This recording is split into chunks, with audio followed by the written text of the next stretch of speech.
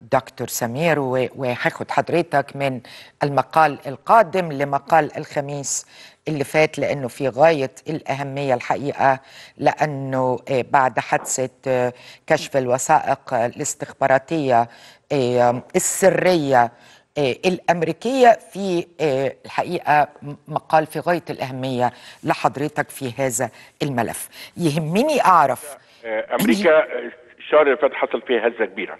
آه. إنه طلع 100 وثيقة من البنتاجون وزارة نعم. الدفاع ذات درجة very top secret درجة سرية للغاية. آه، كله كله سري المية كله. top secret سري للغاية.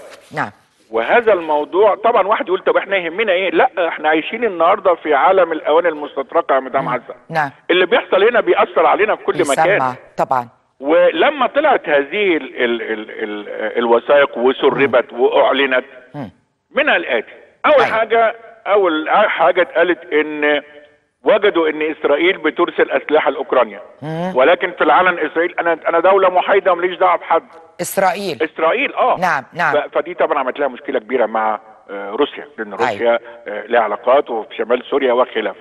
اي تاني آه، تاني حاجة إن فوجئ العالم كله إن أمريكا بتتجسس على سلزينكي أوكرانيا رئيس أوكرانيا المح... الم... اللي هو معاهم وهم بيحاربوه اللي بتدعمه. آه. فكانت مفاجأة حتى السي إن إن قالت إن دي صحيح. خفضت الروح المعنوية داخل الشعب الأوكراني إن إزاي رئيسه إيه، أمريكا بتتجسس عليه مم. الحاجة الثانية قالت إن في قوات خاصة من إنجلترا وفرنسا وهولندا أيوة. موجودين داخل تركيا نعم. آه، داخل أوكرانيا. داخل أوكرانيا. وده نعم. معنى كده إن ده هيدي مبرر لروسيا بعد كده تقول أنا مش بعرف أوكرانيا لوحدي ده أنا عندي القوات. ده القوات دي مش ثبتتش لحد النهارده ولكن آه، موجودة قوات داخل أوكرانيا.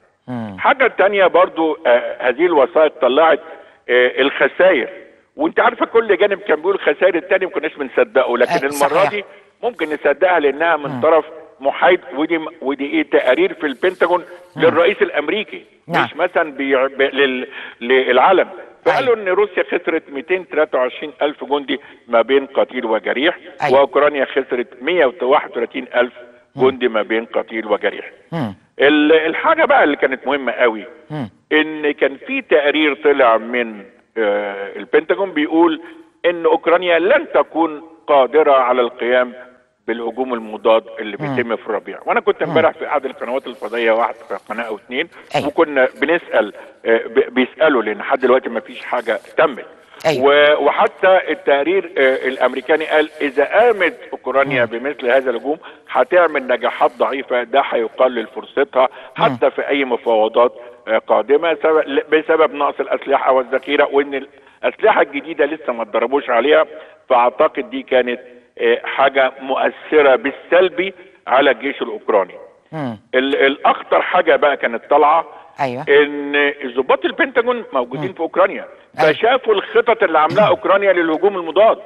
الخطة. هنهاجم على لوهانسك ولا خرسون ولا إيه؟ أيوة. فكانت مصيبة. مصيبة. ومن لدرجة إن أوكرانيا قالت أنا هغير الخطط بتاعتي. خلاص ما هي اتكشفت. اتكشفت. آه. طبعا أنا مش عايز أزود على التوقيت ولكن هو مين اللي سرب الكلام ده؟ هو جندي أمريكي 21 سنة في الحرس الوطني آه اسمه جاك تيكسيرا. أيوه. نشرها مع اصدقائه انت عارفة واحد بيتمنظر بقى. أنا عندي أنا عنده معلومات. ما حدش فودى. الدنيا في داهية. وطلعها في Discord أيوة. في, أحد التطبيقات ولكن اكتشفوه وغنوه إنما آه، يعني يعني مش مقصود لا لا لا مش مقصود ولا الوثائق المسربه آه واتجاب صورته واتقال طبعا في التلفزيون وحققوا معاه قدام الناس عشان ما يقولوش تمام. إن ده جاسوس. ولكن هي دي المشكلة النهارده إن طلعنا من كده إن ليس هناك صديق هيظل صديق دائم طبعا. وليس عدو هيبقى دائم. وانت عارفة ان أمريكا كانت مفضوحة من سنتين. لما اكتشفوا انها بتتجسس على ميركل صحيح. أحد حلفائها إيه،. في أيوة. ألمانيا آه. فطبعا بالتالي يعني كانت هذه هذا الموضوع هز أمريكا الشهر اللي فات جامد في، نعم، آه، نعم. آه، تسريب هذه الوثائق أثناء تسريب هذه الوثائق بشكر حضرتك فندم شكراً. شكرا جزيلا